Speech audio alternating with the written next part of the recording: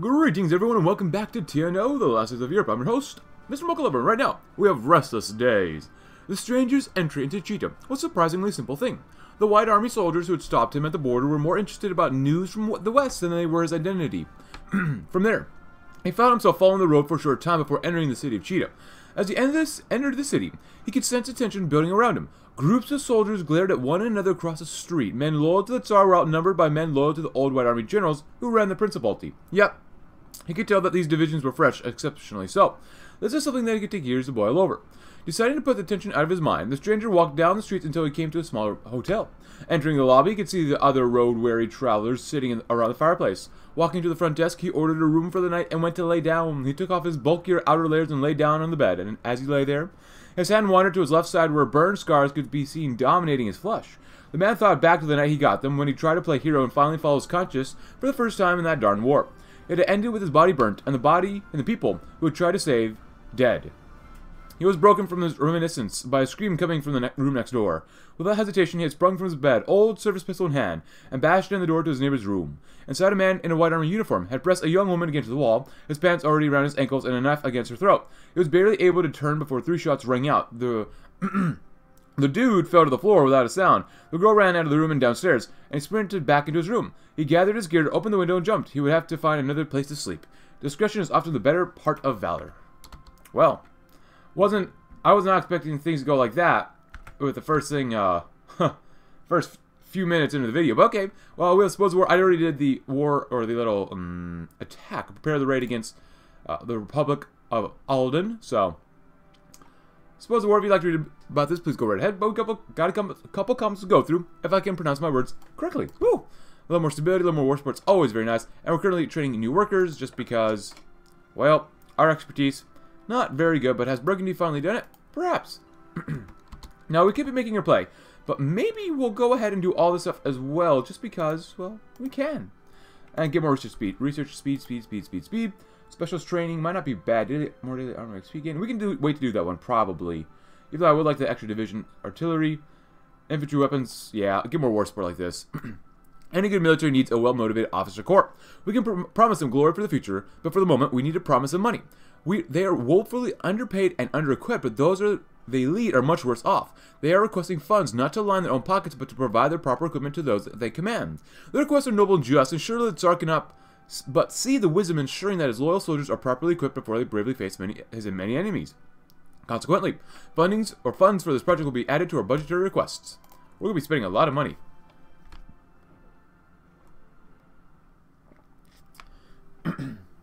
I wonder what the penalty is like if uh, you just spend as much money as possible. That'd be interesting. But let's go with important Japanese surplus. Or maybe we'll do strategic theorem first. How about that? Cool. Our offensive, we're going to go attrition planning. That's definitely the way we got to go. So, the Tsar is told that our industry, fledging as it may be, works day and night to produce the best equipment for soldiers. This is a polite fiction. In truth, we do not have the ca capacity to produce enough rifles, cannons, and ammo for the soldiers we have, let alone those that we want to recruit. During the years we spent in Harbin, we made excellent use of equipment given to us by the Japanese. Manchukuo is just across Argun, and we still have many connections there. Importing a small amount of the vast stockpiles of Japanese arms scattered around the country should prove a simple task, but brotherly love, my friends. there was a little Vissarion Mustafin that could do to disguise his surprised when his little brother Leonid invited him out for drinks. While they'd been close as children, they drifted apart since Semyonov had led them into retaking of Chita, and they'd both been distracted by the countless duties. Something was up, something that Vissarion supposed that he'd find out once alcohol loosened Leonid's tongue. Ah, this place really does have the best liquor in all the Far East. I'm certain of it, Leonid exclaimed, flashing the bartender a wide grin. Just because it tastes like water instead of fresh pee doesn't make it any good, Vissarion remarked with a chuckle. Leonid rolled his eyes and playfully pushed aside his brother. Ah, you have too little faith, Vissarion. I'm telling you, I have a good feeling about the country's future, with Tsar Mikhail at the helm, and not that idiot old man. Soon all the finery of the world will be around us, liquor included, of course. Laughing heartily, Leonid did not notice a frown upon his brother's face. That line about Semyonov had sounded almost treasonous. Say, Leonid, when this little brother turned to him, Vissarion continued, Don't get yourself too involved in court politics, alright? Your good feelings are sometimes right, but so are my bad feelings, and, some, and I have a really bad feeling about the way things are going. Now Leonid frowned and furrowed his brow. Maybe, it can't hurt to just want a little bit more from the government, though, can it? I don't want to be a Japanese dog forever. Isn't there anything you desire for the country, brother? All I desire is your safety, which is a good thing to say. Let's get some more factories, shall we? And we shall do a modern artillery corps. Two world wars have conclusively proven the superiority of artillery on the battlefield as a significant force multiplier, and this is one of the few principles that our older and younger officers both agree upon. However, the artillery we possess is both few in number and antique in manufacture. It may be expensive, but if we invest in a new and modern artillery corps, using our own customized designs and organization, we can ensure that we have the best artillery in Siberia. So, I did ask yesterday which country, which, uh, which Russian warlord was able to grab Manchuria or you know this part of Manchuria. And you guys said it was Amur, so I gotta play as Amur sometime, led by Konstantin Rodzaevsky. But we'll get there down there eventually. I promise someday. Uh, support artillery investments. Our officers plan to modernize our artillery is close to fruition. Working together, our older and younger officers have rapidly developed a detailed plan to completely overhaul our army's artillery in both doctrine and design. All that's left is to obtain the Tsar's approval. Tsar Mikhail knows how critical the military is and how much we've done and how much blood we've shed for him. He won't refuse us. He cannot. Another comment. When will I play as Burgundy? Someday. Definitely someday. I promise I will play as Burgundy someday. Not sure when, but someday. Let's grab that. Because I'd love to grab all this extra land auction and war support, so. Anything here? Investments, planning. Eh, not too bad, not too great, though. And are we going down the military path or the royalist path, or, you know, the Mikhail path? Uh, at the time of this recording, I'll be honest, like, I just want to do another monarchist path, so we're going to go with Mikhail, uh, to the disappointment of some. It is what it is, but uh, in the future, I'll play Chita again, and we'll go down the military path. And all these warlords that we play, there's a lot of different paths that we can choose, so I really enjoy it. Unified Doctrine, let's go to that one first. One of our greatest military struggles is the constant disagreement and the infighting between our officers regarding personal doctrines. Older generals call cling to the grand battle plans of the Great War, while younger officers propose concepts of combined arms. This paralyzes progress, and we can no longer be overlooked. A decision defining the future of our armed forces must be made. We will hold a conference including both the oldest and most innovative officers, and presided over by, by the Tsar. With the eyes of the monarch upon them, they will finally decide upon a unified doctrine, which is a good thing. Oh, against the Supreme? Oh, boy. Yeah, against these guys? Oh, man. A union of letters. Uh, yeah, no, I think, I think we'll be okay against them. Yeah, let's not do that. Trainer troops, yeah, I need the extra manpower. We have none. Nice, we get a little bit of loot, and someone's probably going to attack us soon. Hopefully not too too much, but we'll see. Okay, specialist training. Modern warfare is dominated by the specialist, a soldier who is both trained in and experienced with tasks that no ordinary soldier will be capable of. We're surrounded by enemies, but the Tsar can be assured that our triumph can be guaranteed by transforming our soldiers into an army of specialists. Training relating to command decentralization, behind the lines operation, sabotage, and much more much more will be worked on in our soldiers' regular training regimens. This, in this way, we can say that we will never be caught unprepared, which is good. And Imperial Guard divisions. Colloquially, our army is often referred to as the Tsar's finest, a nickname intended to give pride to the many peasant conscripts making up our forces. But some officers have proposed making the name a reality, concentrating a handpicked group of the most loyal, most experienced, and most physically fit soldiers together in specialized units. The old Tsars had the Imperial Guard, elite infantry that could not only handle any task but also inspire others to greatness. It is only natural that Tsar Mikhail, the rightful emperor, has his own. Infrastructure would not be bad either. I like the infrastructure thing, so. Good. And we do have a cup of coffee here to keep us nice and warm in these cold April months. or days, or weeks. Not a lot of events so far, which is actually okay with me. Just so we can kind of push ahead, because I don't know how, if we're really supposed to be taking this long to develop everything, but we'll see. After those, the Modern Warfare, which is a fun game. While distasteful, we must acknowledge that the Bolsheviks demonstrated innovations in modern warfare. Their application of it against the Germans might have been ineffective, but nonetheless set the standard for warfare across the vast expanses of Russia.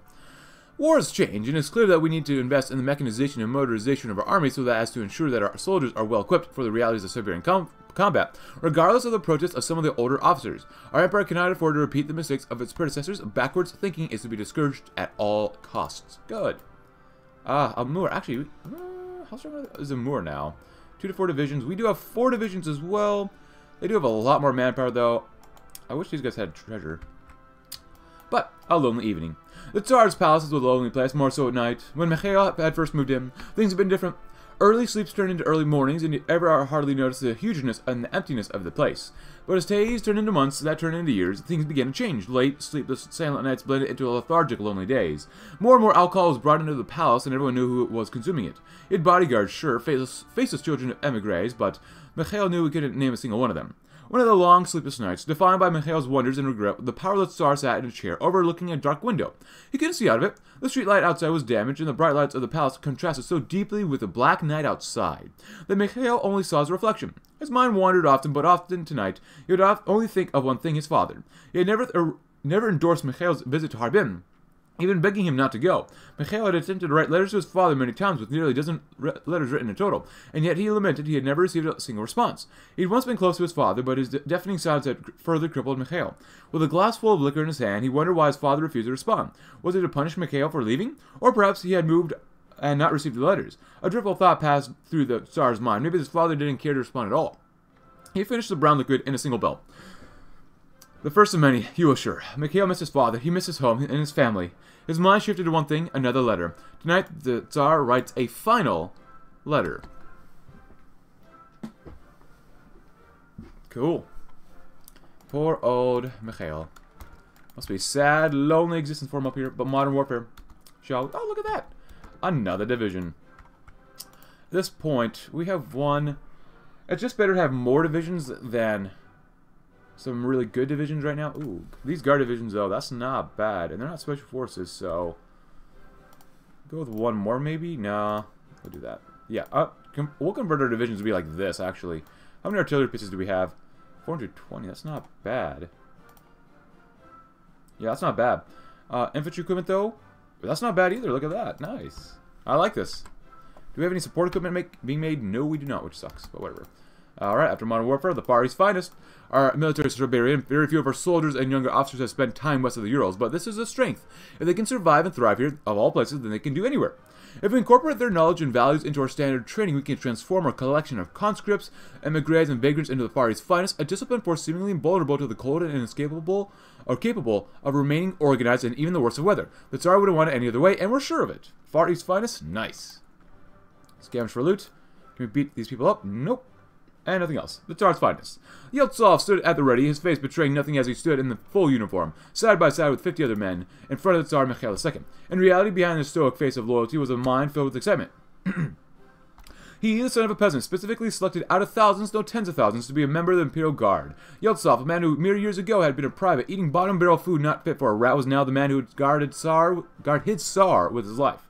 Then suddenly the Tsar was there, stepping out on the top of the palace's tallest steps. A newfound energy possessed him, and he wanted to desperately yell his loyalty to the man who would be the Tsar of all Russia. Subjects, began the Tsar, his voice clearly held by all the men in attendance. I am. For a couple of seconds there was silence where inspiring words should have been. Here to say that. Yeltsov had an instinctual need to see the face of his fellow guards, but knew better than to do that in front of the Tsar. But still, he couldn't be the only one who finds this strange. The speech, if you could call it that, continued for another five minutes, although based off actual content, Yeltsov guessed it would have been a minute at the most. Occasionally, the Tsar stumbled over his words before correcting himself, clearly embarrassed. But the gist was, was obvious. He, Yeltsov, was a member of the Imperial Guard, tasked with protecting the Emperor with his life. And for that, Yeltsov was glad to be part of it. Perhaps we should have let someone else speak for him next time? Um, oh, we can't raid against these guys then. Actually, how strong is Magadan? Because they're not probably too weak. 3,000 map. Uh, they're not that bad, not bad. Uh, let's kill each other off. And hopefully Magadan loses, but I'm pretty sure Amur is going to lose. Cool, the Far East finest. Now, we might not be actually be able to go to war with Amur just because I'm taking my sweet booty time with this, so... No, don't lose, guys. Actually, it's going to take a while for them to lose, so... Nice. Um, I'd like to raid, please. Please. Oh, look at that. We actually have a free civilian factory. Do we actually build things here? Oh, look at that.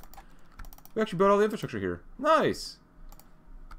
We build that too, why not? Far East Finance making her play. Oh, oh boy. With our civilian industry taken care of and growing, our borders secured with defense schemes in place, then the military's pressing needs to attend to too. We can finally look outwards and begin the process of finishing what we should have done years ago. The sympathetic or systematic destruction of the Russian Fascist Party and its thugs. Now is the time. We can capitalize on the squabbling, destroy the party, and recover the territory that we worked so hard to conquer when the Union collapsed.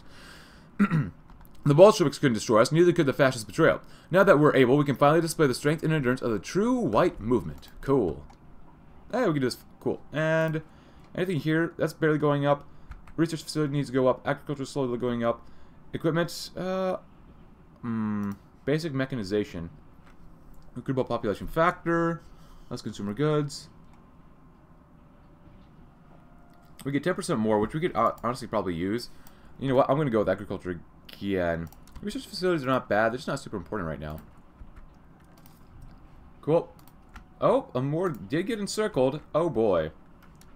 The Dread Riders. The RFP troops stationed along the border with the Principality west of Madachi had grown lax, frequently posing, posting watches only several hundred meters away from their outposts. I was not seen by either of them, or their officers, as a significant problem. The neighboring white army formations could fight well enough, of course, but they rarely attempted special maneuvers. So the sounds of galloping horses began echoing through the small valley that the outpost rested in. They were first they were at first confused. They then realized far too late that the sounds were both too loud and coming from the wrong direction. When the contingent of White Army cavalry broke out of the tree line, immediately overrunning the two close pickets and galloping towards the outpost at breakneck speed, the RFP officers tried in vain to prepare defense, but there was just not enough time.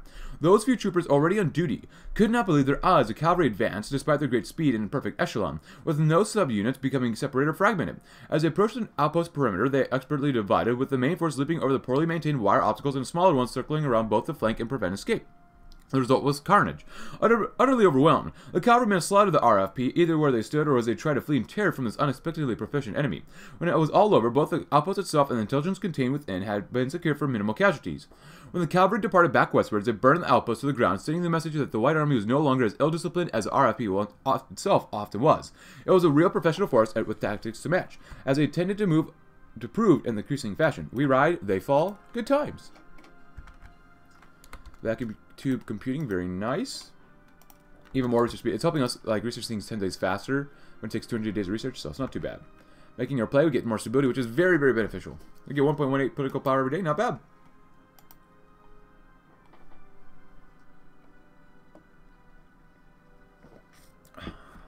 Not bad. Actually, if we want to do, we can probably lower this by one then.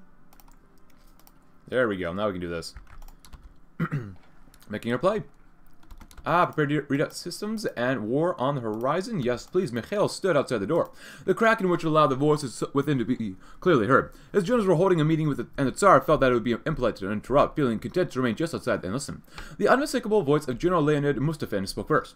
I'm not overly concerned about the fascist militias, but I underest, or I understand. Matkovsky has recruited a large mercenary force. They're experienced fighters and could be a real problem for our soldiers.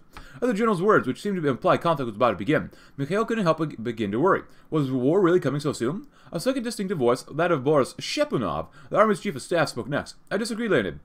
Mercenaries want to fight bandits, not real armies. When they see our soldiers, they'll scatter to the wind and leave the fascists to their fate, and that rabble won't stand a chance against their foes. Mikhail felt his heart sink. His suspicions were correct, and regardless of what he might want, his little realm was going to war. He tried not to think about all the ways it could be go very poorly for him, trying so hard, in fact, that he accidentally pushed the door open. Well, that's all very good, said a third figure, that of General Vladimir Abramov, but we still have no plans for the occupation of these territories. How do you propose we surprise at the appearance of their sovereign? Abramov trailed off as all the generals turned their attention to Mikhail. Shepunov was the first to speak. Your Imperial Majesty, we have exciting news. The pen is set aside and the sword shall be drawn. Settling accounts. It has been long, too long, that we have let the fascists on the Amur and, the and beyond fester in the banditry and terror. We must prepare to settle our accounts, take the debts that we owe back, and liberate the people from this tyranny of the bandit king and his sluggish cronies. A widely publicized speech has been planned by Mikhail's supporters that all will be broadcast all throughout Chita via radio, where available TV. One of the very best to prepare for the oncoming conflict is not just to have our people support us, but also those that our enemies rule over as well. As such, it's imperative that we ensure copies of the speech degrading our enemies and the RFP as a whole get to those who need it to hear it in our rightful territories. Ultimately, truth is replaced by propaganda during wartime, and we know that our enemies aren't above doing the whole same shenanigan thing.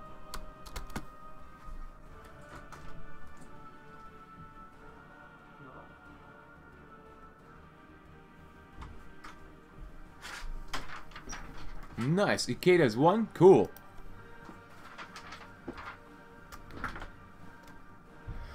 Oh man, hopefully we're ready for war, but does Alden have any loot? I love looting. Looting, looting, shooting. Nope, that's alright. Nothing else here really. How's this coming along? Well, we need more manpower. We need about 1,400 more manpower, a little bit less than 1,400. Oh, they made it in Sigma themselves. Magadan, it's not going to be super easy against them. Oh, yes. Oh, yes. Let's beat up these people. We have a total of six divisions. Verona Conference ends. Good luck or job with that, so... Alright, settling accounts and ready the troops. With our internal situation stabilized and our budget solidified, we can finally begin to look outwards and prepare ourselves for the conquest of the traitors, the Russian Fascist Party in Zaya and Magadan and beyond. The preparations won't be easy, and God alone knows how much effort and resources we will need to ensure that we are prepared for the brutal reality that is warfare in Siberia. However, If we are to have any hope in securing a future for the white movement here in the Far East, it is imperative that we have not just a functional but an effective army that will ensure that neither the fascist traitors nor the Soviet successor states will challenge our dominance. Summon the generals, it's time for the military inspections and reviews. Oh, we got more manpower, look at that. The calm before the storm, though, my friends. For a very long time, the poorly marked border zone between the Transbaikal Principality and the lands belonging to the Russian Fascist Party saw little traffic. That has changed, seemingly overnight. Tsar's troops have established a formidable presence, constructing roads, ammo depots, and more, visibly and openly preparing for armed conflict. Corporal Fedorovich was no fool. He knew that these exercises were not for show and that his unit would soon be going into battle. He began smoking more to help calm his nerves, but he couldn't shake the knowledge that he might not live to see another month. Taking a hard drag and hearing footsteps as he did so, Fedorovich raised his head and saw his squad leader. Good morning. Corporal, the sergeant said, got a light? Fedorovich nodded, lighting the cigarette as asked. The sergeant looked to the east as he took a drag, and to past a small creek that is substituted as a border marker and towards the distant mountains. He gestured to Fedorovich. Over that river lies a land filled with hordes of angry fascists. Fedorovich remained silent as he followed the sergeant's gaze. I'm not going to lie, Corporal, it's going to be rough.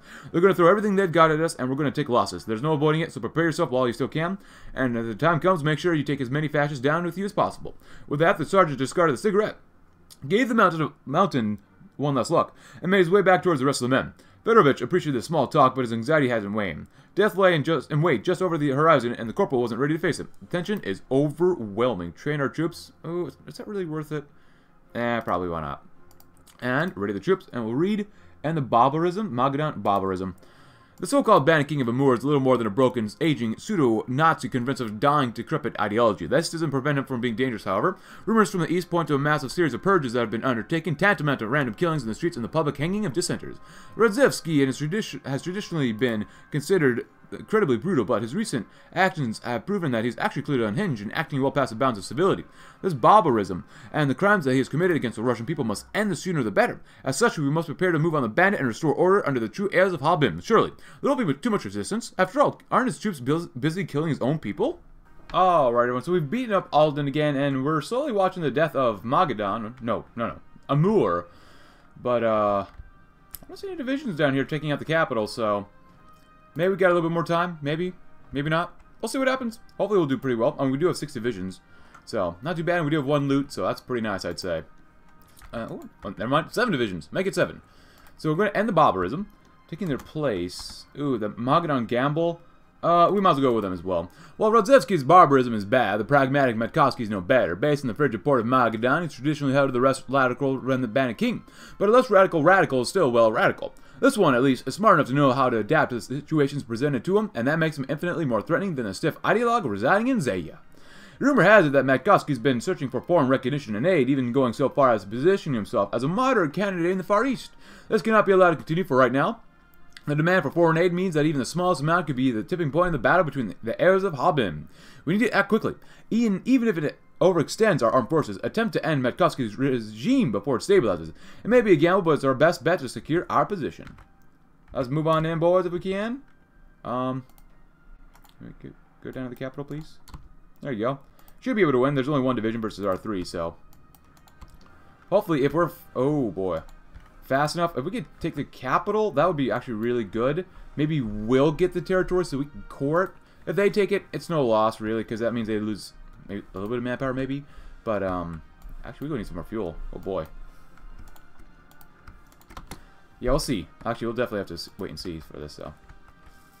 I wonder who's going to get the stuff, because we were going to kill them anyway, so. Good. Army reserve training is done. Let's grab infrastructural reserve as well. Beautiful. And, oh, they got it. God dang it. That sucks. Oh, come on, man. That sucks. That's alright. Um, equipment. Let's do research facilities just because we need to probably do that to help stop that. So that's not bad. That's not bad. It should go up at least. I want everything to go up at least a little bit. Industrial expertise is going up slightly, slightly, slightly. So they can waste time trying to core stuff. Hopefully they spend their political power. A thousand manpower, look at that. Oh, we're mobilizing a little bit more too. Look at that. Nice. Come on, boys, get in here. Because basically we got to go back and kill them off anyways. Okay, then. Alright, let's see you guys. Good. I want you guys to help out here too. Uh, can you guys... Where's our three... Oh, Oh, come on. They'd, they'd go all the way back there. That sucks. How, how many divisions do they have? Do they make any more? Three to seven. They do, might have some elite infantry, but we do have motorized, which is pretty darn nice. I want you guys to get out here immediately. And now, this is not cores. and the, Oh, maybe it is cores. Is it cores? Oh, Hitler's dead. That's a colony state. Okay. Good, beat him up. Maybe I, mean, I should have used my motorized, but they're already attacking, so there's not much we can really do about that. Oh boy. Oh boy. Oh, we've been caught. We're so far, we're still winning, which is good. You boys should be able to get in there very quickly, right? Come on, move, move, move, move, move, move, move, move, move. Oh, a little bit of lag. Ah, Germany's having a civil war. I love it. I love German civil wars. There we go. Good luck, guys. Have fun. Have fun. Good. Alright, so you guys gotta help out right here. And you guys gonna go right here. Why? So we can circle these two divisions. Franco-Burgundian War. I love Burgundy. I'll play them someday, like I said earlier. I promise I will. I just don't know when. Get her there to Ayan, and then go straight for Magadan. Um, yeah, you guys go in there. That's fine. You guys go there. Uh, don't worry about that. Head on over here. Thank you. Oh, god dang it. Oh, I guess you hold then. Alright, divided. Cool. Let them struggle a little bit against us. That's fine. We have no manpower, but whatever. Come on, stop lagging, game. Come on, mod. Oh, man, TNO lag so hard. It's probably the most intense... Well, maybe not the most intense mod. I mean, guys reckon it lag pretty bad as, badly as well. Uh, come on. Come on. I know it's a river. Gotta push those trucks over that water. Nice. Warsaw Uprising. Cool. English Civil War begins. Uh, send you guys down here, maybe. Nice. How many divisions? We've lost a thousand. We've lost a thousand. Four to six. All right. Oh, they're over there. Not bad. Not bad. Um. Hmm. You guys go up there. Keep them. Keep them at bay. Finally, you guys did it. Finally. You should be able to move very quickly into there, which is good. Good. Good. Hidden heroes. Nice. Uh, give you just a little bit more time. They want to come into there, which is totally fine with me. Formation of Africa Shield. Uh, screw it. Just go down there, maybe. You might be actually just be able to win anyways. Oh, look. They're trying to attack that way, huh? No, thank you. Serbs rise up. Hello, Serbs. Uh, Alright, what else do we have? We got plenty of political power, which is good, and we're going to keep it, hopefully, for now. You guys should be dying off because you don't have enough supplies eventually, which will be a very bueno thing. Hey, look at that. Almost an encirclement. Almost. We're getting there. Just don't lose Zaya. Alright, no, no, no, no, no, no, no, nope. You do that. There you go. South African War. My goodness, so many events. I really don't care to read all this stuff with everything happening, but it, we just kind of have to know what's going on here. Alright, very good. Help them out down here, actually. There you go. And they'll help them out down here. Hey, we killed that division off. Beautiful, my friends. Beautiful. Are you guys heading there? You just keep going on. Cut them off some more. Oh my gosh, game. Stop lagging. Please stop lagging. Nice. I'm glad we have the motorized. Actually does help out. Good. Oh, we overran one division, and we'll finish all those, those guys. Great. Oh, come on, man. Come on. Oh, actually, that's not bad. Maybe we'll do that and cut them off. There you go. These motorized are doing a great job. Come on, before they finish.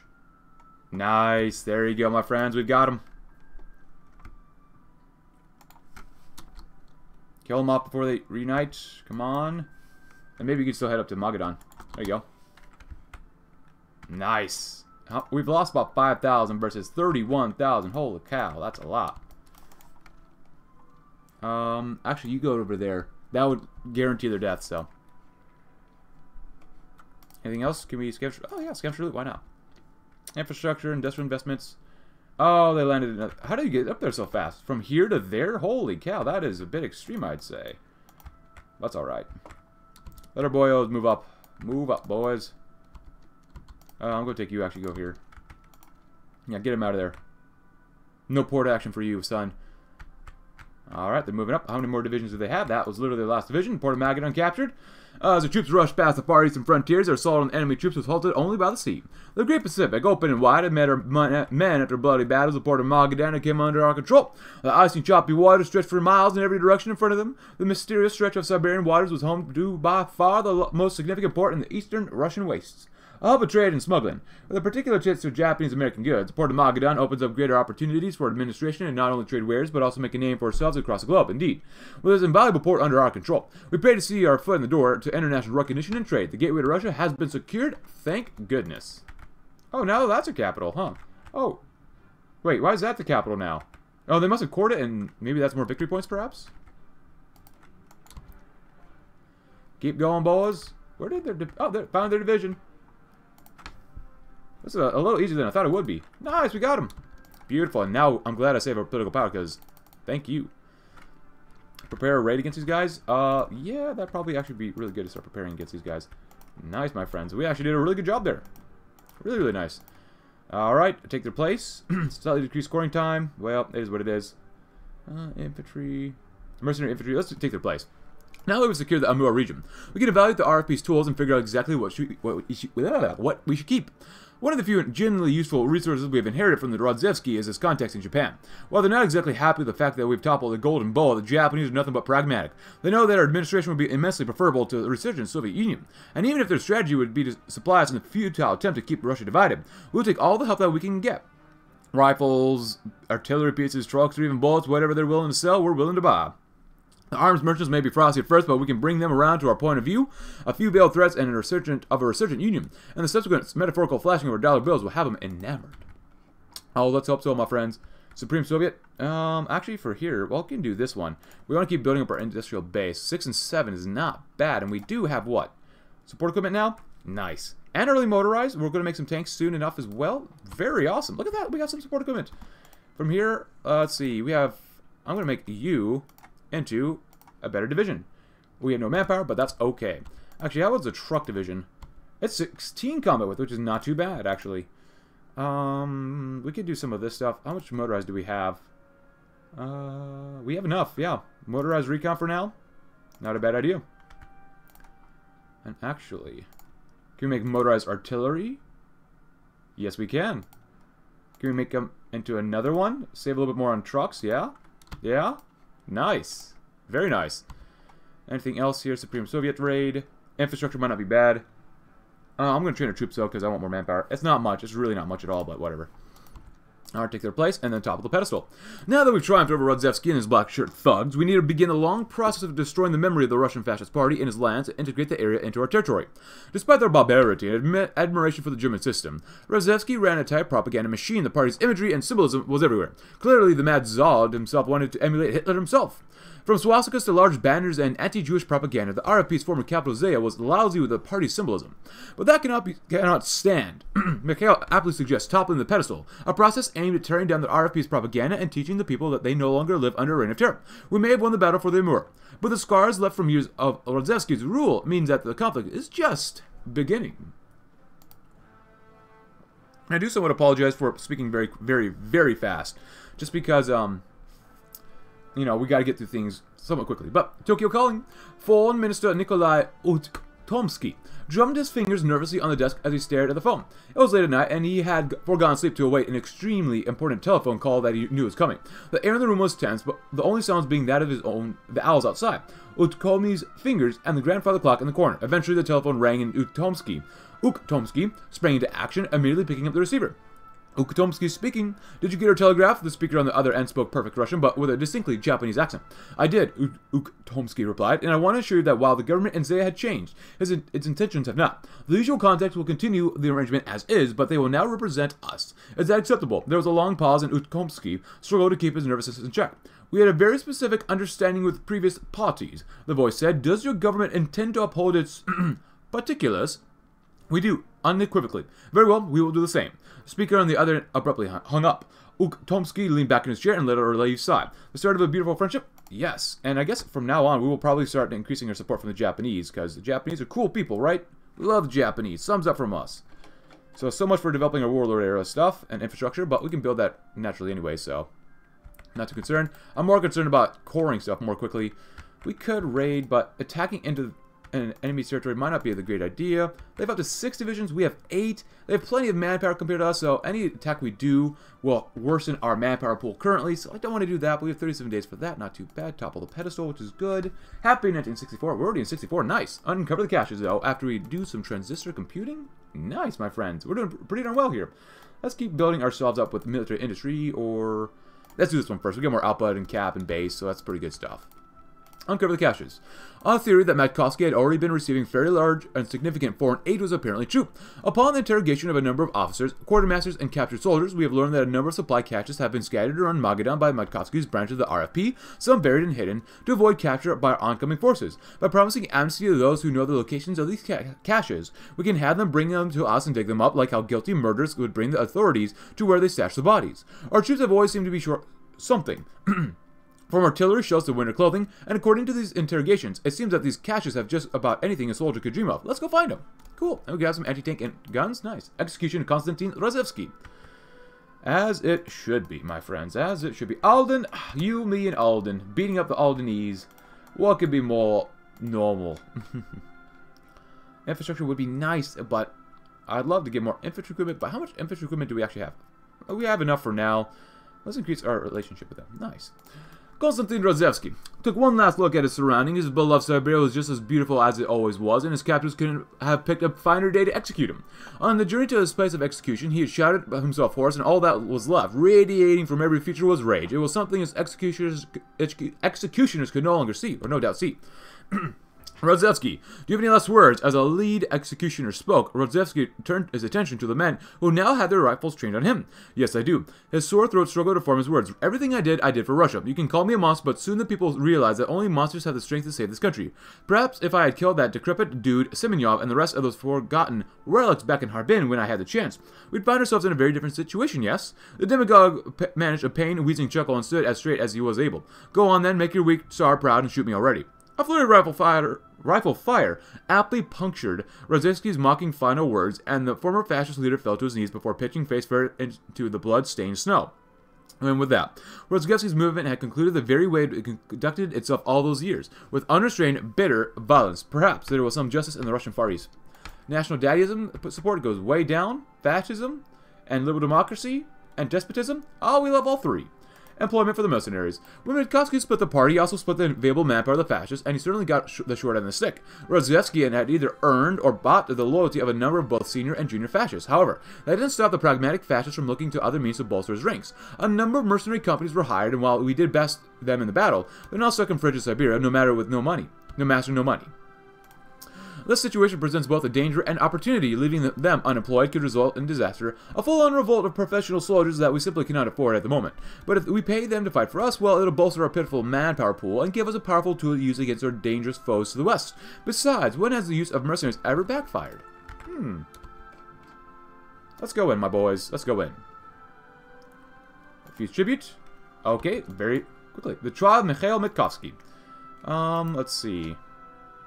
Well, we do want to raise up. Uh, academic base is technically slowly going up. Everything is going up except for army professionalism and poverty, so let's do equipment, shall we? Tried and true equipment through and through. The trial of Matkovsky.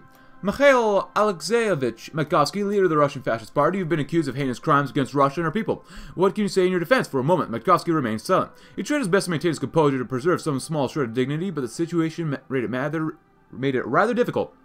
I wish to say that I never had my intention to cause harm to Russia. I only did what I thought was necessary to bring strength and unity back to this broken nation, and at the very least, I would argue that my government was far more legitimate entity than the sham of a trial.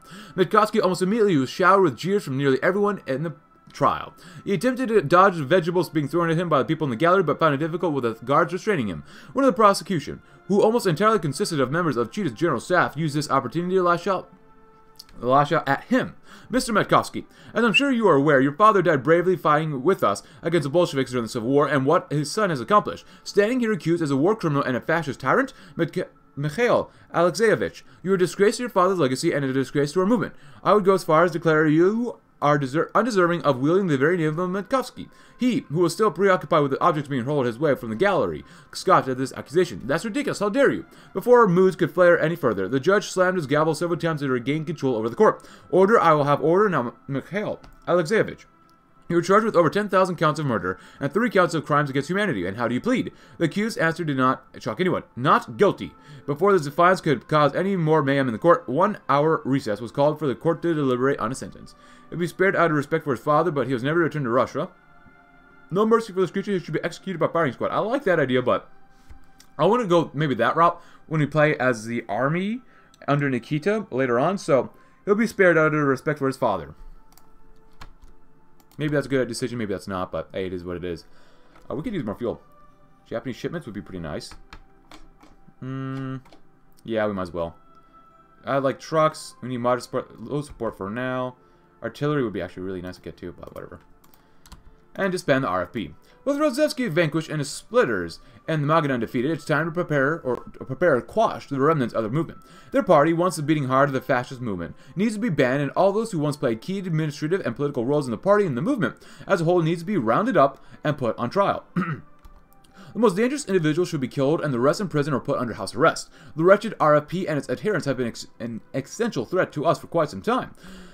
and now that we've triumphed over them, we need to entrench ourselves as the true heirs of the white movement as it should be. For what if, for what we have been working towards and what we've been uh, finally accomplished, I can say with certainty that it will take any action necessary to preserve it. Nice. More popularity, or, or technically, yes, more popularity, more political power, but less popularity for those other parties. Good. Good. I'll go ahead, throw them in there. Good, good, good, good. Oh, look at that. Oh, we got the stuff. We actually have manpower. Look at that. Who are you? Rifle off.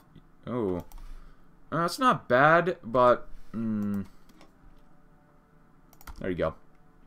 We actually have military factories. Look at that. We can build some CAS, some fighters, some tanks. We're going to need some artillery and guns. Let's go two there, two, and then two. Nice. And we have some dockyards, which we're not going to really use, except for convoys, so... We don't waste manpower on ships that we won't use, right? And when's the next research done? About a month, not bad. March on Yakutia. Now that we've defeated the fascists and secured a position as one of the preeminent powers in the Far East, we can look outwards and prepare ourselves for what we failed to do during the Russian Civil War. Secure the unification of Russia under the White Movement. The first step towards this would be to deal with the nearby Yakut Republic. The Republic, apart from being an anti-monarchist state, controls incredibly valuable land ripe for material exploitation. Securing their territory would go a long way to ensure a steady export of valuable minerals, as well as an additional place to use to increase our manpower. It's probably best if we attempt to approach them first, but if that fails, the troops would be ready at the borders to prepare a hostile takeover of sorts. That way, we can at least, very least, demonstrate our goodwill, but have the iron fist ready underneath the velvet glove. Same job, different faces. Yakutia is next. We shall be ready for the tyrants and ignorance of Yakutia. And what do we have over here? Anything interesting? Looting? No. Okay. Same job, different faces. The life of a mercenary, though certainly dangerous, was equally certain to provide excitement and travel in space in spades. It was for precisely this reason that Ernesto had become one. The money, far more than one could make in his native Peru, did not hurt. Like many others, he had heard of opportunity in Russia. The regime that controlled the ports of Magadan were being pressured by its enemies, and he had called for fighters from abroad. Accepting the incentive payment, Ernesto found himself stepping off a boat in the port, only a few weeks later, to a land very different from those he had been in before. Truthfully, he did not like the people he worked for, but they paid very well and on time, and that was enough. The mentor he sought was provided as well, and he had uh, found himself quickly learning Russian, very helpful for interacting with the locals, and better understanding the shouts of the local soldiers when things got heated. And things had gotten very heated indeed. When he had been hired, his employers had failed to tell him that he would not be fighting insurgents, but rather a real army. The White Army, which had, in short order, defeated the same employers. Ernesto had survived, however, by strategically deserting when the outcome was obvious after securing his last paycheck, of course. At first, Ernesto had thought himself in trouble, but then he heard the good news. The new owners of Magadan needed manpower to secure the territory and were willing to pay for it. By the end of the day, he had again had a mercenary's commission, and carefully leaving out the fact that he had been shooting at his new employers only a week before. He hoped that this commission would last longer. If not, he could always desert again, after securing his last paycheck, of course. As long as the money kept coming, who cares? As long as the money's good. The Diamond Age owns Yakut. Oh, increased Japan Japanese support. Question of Yakut autonomy. I like that one. Maybe we'll read that one. Now that we've defeated the Yakuts and integrated their territory into Principality, we can begin to take advantage of the diamond trade. Ooh! The entire area is rich with diamonds that we can not use not only just to buy off local officials in Yakutia and elsewhere, but also to bolster our exports and help buy foreign aid. Diamonds go up for guns is a pretty tantalizing offer even for the richest of nations. But the question has been raised about how exactly to go about exploiting the resources that we now control. The Yakuts were running their mines with minimal efficiency, mostly because of the lack of manpower. Luckily, we have something the Yakuts don't access to urban centers with populations of the listless, unemployed, and political prisoners. If we recommend these unemployed individuals and prisoners move to Yakutia to take up jobs in the mines, we'll make sure that they'll be sufficiently staffed and ultimately have our pockets lined with the money made back from diamonds. Nice, and we will go and take these guys up. Life under the Tsar, though. Sophia cautiously made her way down the walk side, doing her best not to draw attention to herself as she tried to get home with the groceries. It had never been safe to walk the streets of Zeya before the war, and she saw no reason why that would change now. Just a few minutes more, her apartment would be in sight. Excuse me, ma'am, could I have a moment? The voice coming from behind stopped Sophia in her tracks. It had to be a soldier, no civilian in Zeya would stop another on the street so casually. Slowly turning around, her heart sank as her suspicions were confirmed. A young Tsar's soldier stood there, waiting an answer. Though the uniform was different, the gun slung over his shoulder had become synonymous with oppression and abuse under the fascist regime, and she mentally prepared herself for what was to come. Apologies, ma'am, but I saw your bag and was wondering if you knew where I could find the grocer. He smiled at her apologetically. This town is like a maze. Taken aback by the polite nature of the soldier's request, Sophia replied cautiously, Oh, uh, of course, it's on the corner of the intersection just ahead. Just follow the sidewalk from where I came and you can't miss it. The soldier nodded his head in response as he moved to follow her directions. Thank you, ma'am. Carry on. As the soldier departed, Sophia sighed in relief and hurriedly continued towards her apartment. Such a peaceful exchange would never happen under the fascists, who were more gangster than soldier. Sophia was still nervous about having armed men watching her every move, but perhaps things were changing for the better. Time will, of course, tell, and we got some more stability. Good. Infrastructure would be nice. Uh, let's improve relations. Now we are still low. God dang it. I thought that would improve us.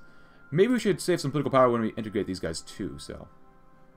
Not bad, though. Really not bad. I think we're doing okay. We actually have a slight reserve of manpower, we could import some fuel. How much are we getting every day? Minus 62 because we're hmm, building stuff. Keep building, building, building, building, building. Infrastructure. Screw it, we'll do it anyways. We're going to build up infrastructure to max it out anyways, eventually. Infrastructure reserve. Oh, man, maybe not. Yeah, we're done building up infrastructure then. And it's time for a comprehensive strategic analysis, more max planning, and planning speed. Very nice. We shall march on Yakutia, which we never raided before, at least for this campaign. Uh, our GDP is looking not too bad, though. A few hundred million, not bad.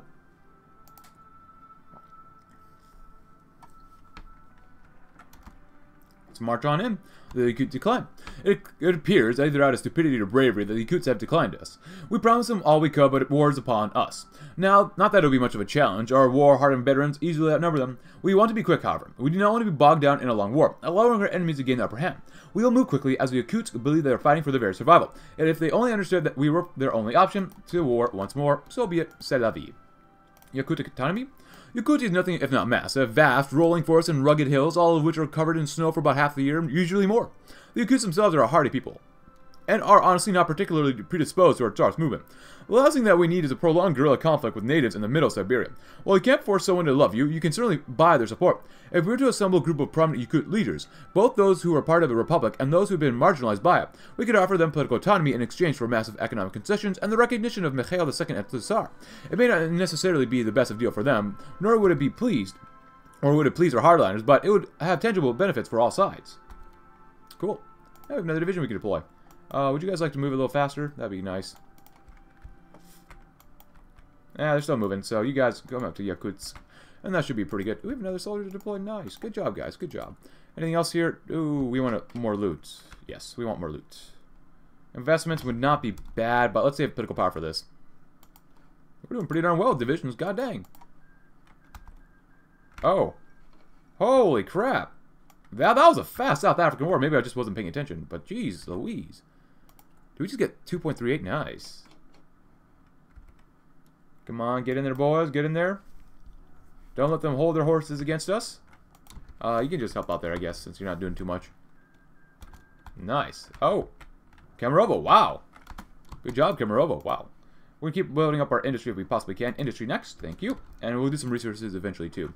Oh, we need more fuel. Uh, let's, let's trade for one thing of fuel. Uh, sure.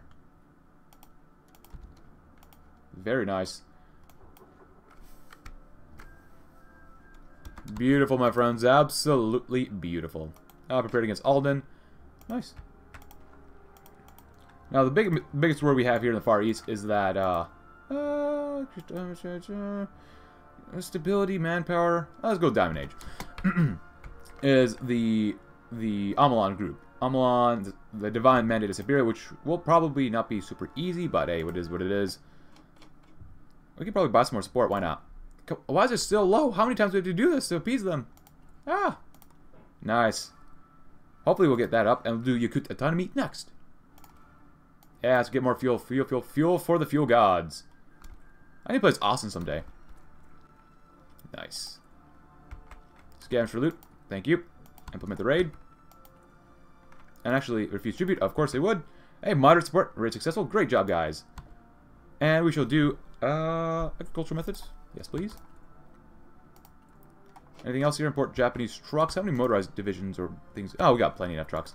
Food for the hungry. If you'd like to read about this, please go right ahead. Stability, war support, and political power. Sign us up. Yes, please reinforce the borders. To our west, the rump state of the Union of Soviet Socialist Republics still perpetuate, scraping by a miserable existence and attempting desperately to enforce dictatorial socialist agendas. However, the Soviets admittedly do have fairly impressive armed forces, when, if not, we come into conflict with the Reds. It is of the utmost importance that we find ourselves prepared. One of the ways that has been suggested to do so, or just do that, would be to construct fortifications along the western border. This will ensure that when the time comes, the red tide will crash against the cliffs of our invincible bunkers and trenches. Our stalwart defenders will not give an inch to the socialists, providing or proving the degree of discipline that we we have inspired among our troops. Remember, the Ice March. Never again will we flee from the oncoming socialists.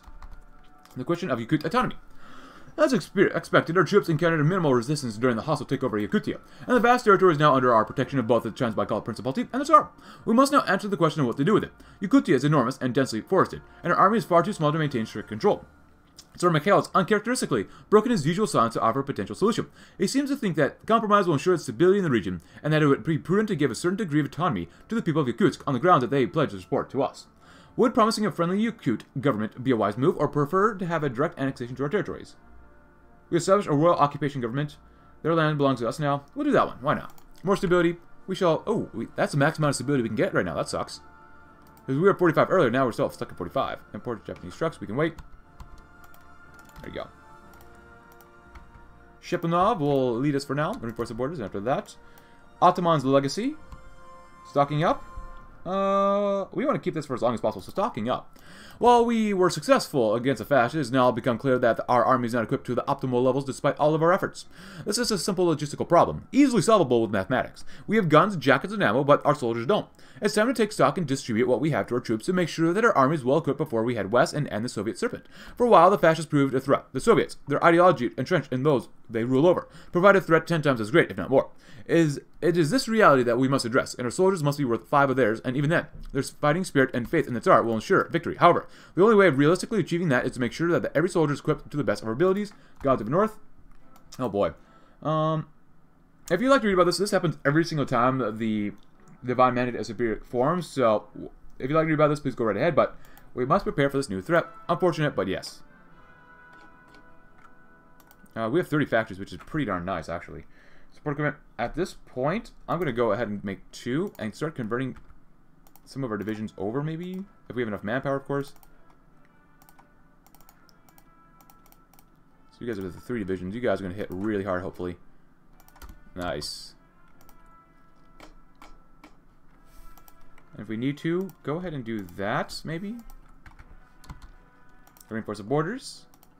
Stocking up. Is there anything else here we can do? Um, not really. We already had a successful raid. So, I guess we'll read the Ataman's legacy. The death of our beloved Ataman is still fresh in the minds of all those in the principal team. From the Tsar himself to the lowliest of peasants, Semyonov was the white movement. He personified it, lived it, built it. Without the Ataman's strong rule and decades of delicate political maneuvering in Harbin, there would be no Principality, no Tsar Mikhail II, and most likely the white movement would have been subsumed to the RFP long ago. However, the Ataman's most significant contributions to the white movement were militaristic. He had organized the first white army during an original foray back into Siberia, and had personally coordinated the entire Harbin front. And until the fascist traitors split it and dis disintegrated any hope we had of securing ourselves the whole of Russia. And even then, during our Darkest Hour, it was Semyonov who took the reins of power and rallying the loyalists around Chita, ensured that the survival of the white movement. Hail Semyonov, eternal servant of the Tsar. An ultimatum. If you read about this, please go right ahead, but we must be prepared against him. So stop training, get your butts over to the line, and hopefully we can help defend against these evil, evil religious folks. And they're not evil because they're religious, they're just crazy. We have 11 days. Oh, yeah, we're not going to have a lot of time to move our guys around. But Chita's looking very fortified, hopefully. Well, maybe not. Okay, then. There goes Speer. Goodbye, Speer. Hope you have a good time in prison. Maybe you can go to the USA, but we'll see what happens. We do have our loot. That's kind of nice. Come on, get our boys over there. Some of the guys already have a little bit of organization, which is nice. Four days. Come on, come on, get over there. I'm not sure where they're attacking from, but... Oh, the Hadrish, no! Well, we will not back down so easily. Oh, God. It had to be this one. It had to be this, the farthest one away. Are you kidding me? Can we spend it? Come on, please let us spend it first. Okay, we're defending. Okay, that's good. Woo. How strong is this division? Oh, the militia. Ooh, boy. Oh, boy, they're stacking up more soldiers. Come on, boys. Move, move, move, move, move, move, move. Stocking up. Mon's Legacy, there's nothing we can do about this now, so you gotta watch and see. Japanese trucks improve relations. Maybe we'll do that soon, but, well, wait. the Far Eastern Reclamation. Ooh, focus tree changes. Now that our troops are stocked, our territory pacified, and our administration prepared, we can finally look west with a realistic plan. Mikhail's advisors, in reality the decision makers of the nation, have come up with a far eastern reclamation plan. A series of conquests as well as a unified strategy for dealing with the communists, ultimately looking to establish our control over all the Far East. This plan was only briefly discussed with the Tsar. It was largely kept in the dark about the military matters. That being said, however, he was briefed on what he needed to say on the radio for the speech that he had encouraged to give him to give. The Far Eastern reclamation plan contained both militaristic and propagandist elements. To defeat the communists on the field is not enough. We have to win the hearts, the minds of those that have systematically oppressed in the name of their twisted ideology. Nice. Cool. We actually won. Good job, guys. Um, with that being said, we can do stuff over there. Uh, I would really love to beat up Irkutsk first before we go to war with those guys, so... Hold.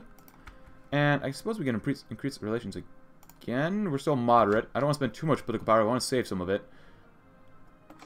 Investments would not be bad. 65. It's not terrible. We could use more military factories, but we're doing actually okay on weaponry. Right? Well, we got a lot of anti-tank. Are we missing anything besides manpower? No, not really. The Ataman's legacy, which we love, the Ottoman. Far Eastern Reclamation. More manpower. Good, finally. And more war support. Look at that war support. It's beautiful, my friends. Um, who can we raid? Neither group has money. Oh, what happened to Aldon? Aldman. Aldon. Oh, they ate him up. Not. Oh, good. Suck on that resistance, you piece of garbage. Suck on it. Hmm. How many divisions do they have? Well, that's a lot of manpower. They have up to six. We have 11. If we can move fast enough, we could probably destroy them. I would love to either fight one-on-one -on -one first, so we got to rush towards that. Scavenge for loot. Good, good, good, good, good, good, good. Oh, we can raid these guys too. Um, honestly, I think we'll just wait. Let's not raid them. They're pretty far away. They don't have that many divisions. We could probably win two, but... Hmm. Get that manpower, boys. Beautiful. Oh. Oh. Oh! Let's open up. If you're related about the invasion of Aldon, please go right ahead. But remember Red October. War in the North. We gotta do remember Red October. Remember Red October. Remember Anastasia and Alexei Nikolaevich killed his children who begged and pleaded for their lives. Remember all the depraved actions taken by the so-called liberators in the name of the revolution. How have the decades of communism treated the Russian people? There's no legacy of the communists outside of failure, and yet they still claim to retain the mandate to rule over the masses. Do not trust a communist who seeks to impress a Russian, oppress a Russian, I mean, and institute his ideology at every level of society. Today, Tsar Mikhail gave a speech that broadcasted throughout his domain on the matters of the communists, in an attempt to arouse the masses against the communists and better prepare both the home front and the armies for the great conquest in the West. The speech was surprisingly impassioned and received quite well among our people. As Namibog. And we gotta make sure we got enough planes here. Actually, we have a few a few planes, literally a few planes. Awesome, awesome, awesome. Good, good, good, good. I want to beat up the commies. Hopefully we can do that by the end of this episode. With slight, slight amount of air superiority. But you know what? Every slight amount helps out. Alright, after that. Uh, invasion of Buryatia? No, we gotta do this one. End of the Union. The Union of Soviet Social Republics, or rather the Trump say based in Irkutsk, held together by a mad hatchet man's paranoia and pure force of will, is representative of all that is dangerous to the Russian people. Many of our soldiers have begun repeating a saying that they've learned from their Mer American mercenary peers, better dead than red. In this case, it is most certainly true. The Union has poisoned the minds and lives of the Russian people for decades, and this decrepit remnant of communism, holding itself together by the skin of its teeth, is finally within reach of the valiant troops' bayonets. The General Staff has already drawn up a war plan and written a speech. For the Tsar wants the Red Army rules the streets of Irkutsk. The troops are ready, their morale high, our mercenaries are paid, pockets lined with Yakut diamonds. What better time than now to simultaneously decapitate the social serpent and legitimize our rule over the Far East? We gotta be quick though. Um, we're almost done here. Can prepare raid. No. Oh, we got this too. Good. We've been really hammering home on our land auction. I love it. Just blazing through this. Oh, invasion of Buryatia. Oh, if you'd like to read about that, please go right ahead. Nice. Cool. And workers, facilities. We uh, have we done research facilities? We need to do basic literacy again. It's not going up as fast as we'd like to, so do schools. Why not? Because we need a lot of political power for all this area. So another division. Uh, what is the divine mandate doing? They have a little bit of manpower and the thieves, the sins of our roots. Oh, Kamchatka. Okay, that's good. Oh, that's good. Um, if you'd like to read about this, go right ahead. I think this happens every single time, so, as well. The Lord's Word, and that is what we will serve. Cool. End of the Union. Oh, Olympic Games, War in the North. Is at war with Chita. We gotta wait for that. Uh, and the Union owns Irkutsk. Trial for the revolutionaries. Let's do this one. The Paris of Siberia. The city of Irkutsk, long considered one of the most developed city in Siberia, has fallen long since into disrepair following the collapse of the Union and the relocation of Genrikh Yagoda's terror state there. However, in reality, the city was once an industrial giant, far greater than her capital Chita, and as such we should begin funding the redevelopment of the city to ensure that it can not only attain its previous level of development, infrastructure, and industry, but also that we can take advantage of it as well. Both God and the Tsar know how important it is to have as much industry available to us in the upcoming months and years, pumping out military weapons and ammo for the ever-hungry war machine. We must restore the Paris of Siberia to her former glory. Good. And we are war. Trucks, arm shipments. Well, we can do that eventually. Some moderate. Eh, we can do it once more. And how many guns do we have? We need more cast, of course, but that, what else we Oh, we don't need more guns. That's good. Can we just, like, roll on in, maybe? Actually, I take you guys, go to Aldan, go there. Uh, uh, you go there and just cut them off as well. Where are the trucks? Or the truck division?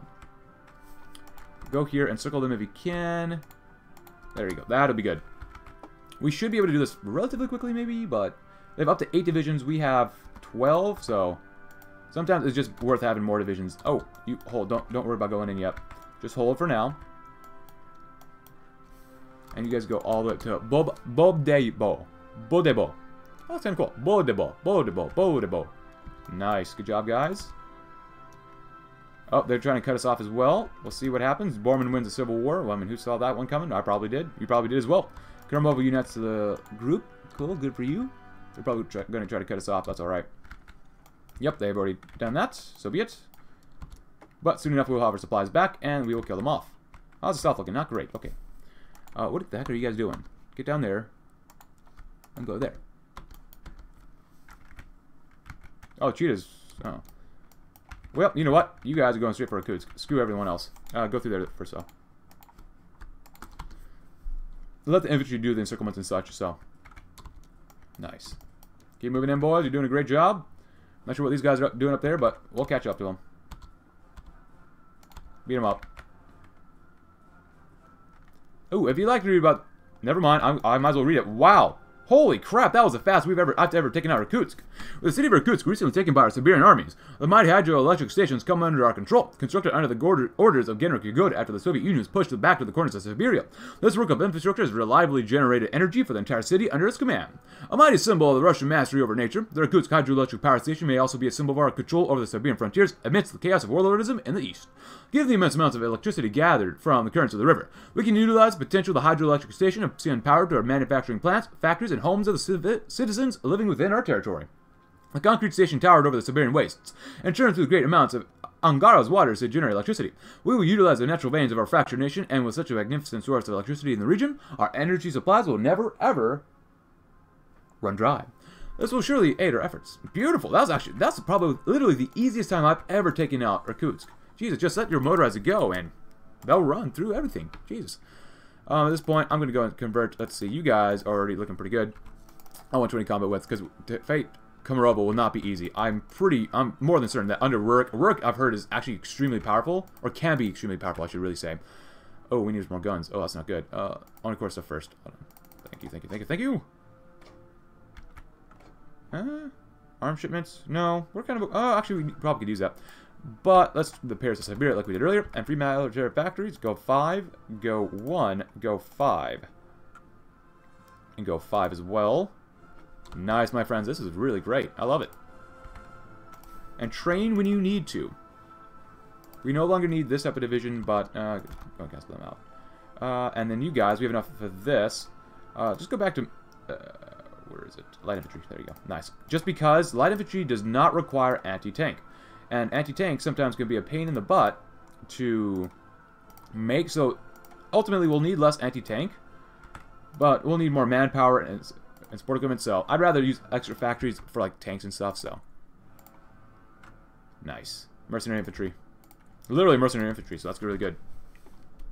And eventually, we will make 40 combo with division. So we'll get there eventually. Uh, train. Two at a time, an eye for an eye. Having ordered the executions of countless men over the many years, Genrikh Yagoda knew what was coming. He knew in the moment that the reports of the collapse of the Red Army's positions outside Irkutsk had arrived. The White Army had entered soon after. the following days had been spent in a cell, one of his own, while the decision on his fate were made, far above and away from his current position.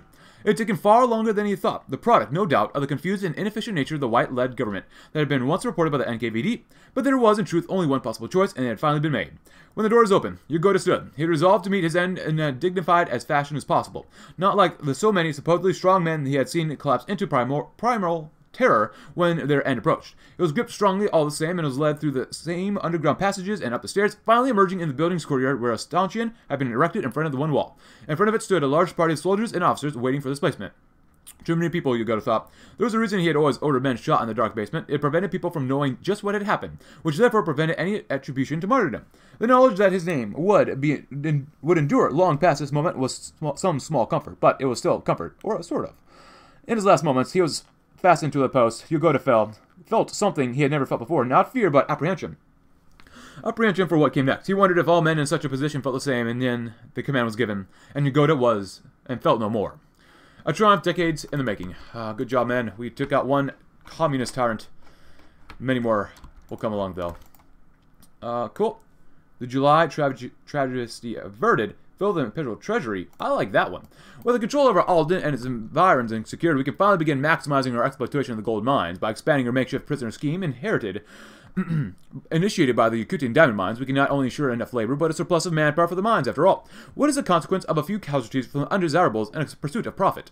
Some others would have suggested that using the defeated Aldan partisans as labor as well, which may be an option. Either way, it's imperative that we begin to exploit the precious metals in our new region, and the more money, the better, after all.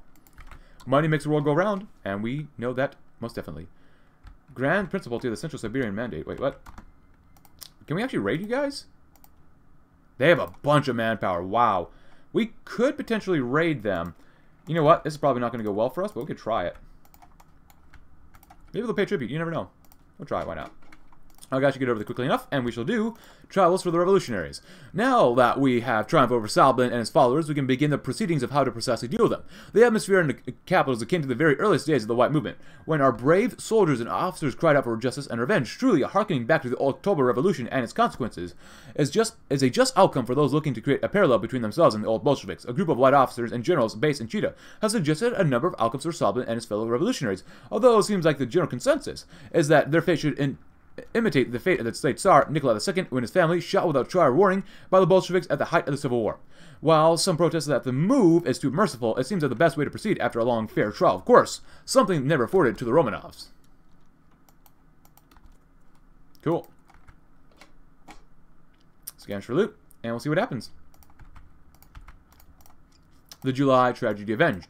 The July Tragedy, the execution of the Romanov family with no trial, warning, or civility has been a long been a black mark on the white movement. A feeling of collective guilt has been long badgered by those at the very height of the white movement. However, with the capture of Irkutsk and the end of our ideological enemies in the Far East by our own hands, we can finally free ourselves from the burden of this guilt. The deaths of the communists and their followers, and the beginning of our decommunization of Irkutsk and beyond has meant that we can finally find cause for celebration. Mikhail II has actually made a good suggestion. A weekend celebration and holiday to mark the end of the Bolshevik rule. While some of officers were initially hesitant, the bread and games approach to winning over the people has frequently proven to be most effective, which is good. And we have technology. We can do. Nice. We're doing really, really well. Um, supply grades, that stuff is okay. We'll grab strategic cycles because they help us out immediately first. Oh, and let's stop trading too because we're going to need as much organization as possible for this. We're going to get a lot. Oh, actually, we've got enough guns for a while. Oh, Pacific Fleet's gun. Oh, that's not good. That's not good. Main battle tanks, we're slowly making some of those as well. Great. Anti-tank, we're looking pretty good on everything but planes. Of course. Of course. Let's go and do a raid maybe, perhaps. And... Two is good. Two is good. Two is good. I want to make more planes. And tanks, but planes first. Ooh, this might be a big old risk we're going to take here. Never mind. Rurik II is a weak old man who has nothing for his people. Amalan, you're next. Magadan? Beautiful. Hopefully they don't attack us too quickly. Hopefully we'll get a, a warning that he will attack. What is he doing next? Um, 6,000 manpower, 5 to 7 divisions. We have 13, so... All one in Christ? You bet your butts you're all one in Christ. Execution of Valery Salbin. Um, I don't want to. I didn't want to do that, but okay. Well, I don't want to execute him. Any last words, Bolshevik? Valery Salbin, now disheveled, defeated shill of his former appearance, looked up at his captors. The guns were now trained on him, and there was no, not a doubt in Salbin's mind that they intended to do. Speak, Red, you won't get another chance. This time, Salbin decided to humor their daunting demands. So, this is what it's come to. The war is lost, and I'm to die in this dusty basement for my trouble. It's funny. I always thought I'd be executed by the NKVD, not by some Tsarist relics. Salbin attempted to stand up straight and look at his executioners in the eyes. It was harder than it looked, for the would-be revolutionary was greeted weak, greatly weakened from his time in captivity. You Tsar's dudes think killing me is going to end the revolution? Have you learned nothing? The people of Russia will never accept a reactionary monarch. Soon enough, they'll remember uh, all over again why the revolution happened. And when that day comes, another will rise in my place to avenge me and the rest of my comrades. Do your worst, but know that it's going to take a lot more than killing me to crush the revolutionary spirit of the people. This isn't over by a long... Without warning, the impatient Tsar's executioners opened fire and prematurely ended Salbin's defiant last speech. The force of the rifle rounds caused Salbin to fall backwards against a wall. As his body slid down to the floor, the young revolutionary drew his last breath, and Salbin's execution had finally brought the socialist movement and the Russian Far East to a tragic close, and symbolically heralded the ascendancy of the White Movement. Good. That's, I don't want to kill him, but we'll read finally with the war in the North. The perfidious, heretical preacher based in the north has done much to disrupt our unification efforts, going so far as to invade our territory and rouse the peasants against us. Alexander Men is little more than a jacked up priest, squatting in freezing churches, and yet somehow each of his followers fight with the zeal of a dozen disciplined soldiers. We need to deal with the poisonous preacher as soon as possible. With a poisonous preacher as soon as possible. For if we don't, who knows how far his influence will reach? He's certainly popular with the rural populations, and rumors abound that his agents have already infiltrated our churches and factories. Action must be taken, both military and political, to make sure that we maintain stability in these trying times and that we extinguish the possibility that Men's soldiers have a fighting chance against their own. The ruling council must be assembled and actions decided upon. Call an emergency meeting. And hope you enjoyed today's episode. If you did, leave a like, subscribe if you're new, check out my Discord link in the description below, and I'll see you tomorrow when we'll reunify the Far East and prepare against the other part of Siberia. Thanks for watching, and have a tremendous, tremendous rest of your day.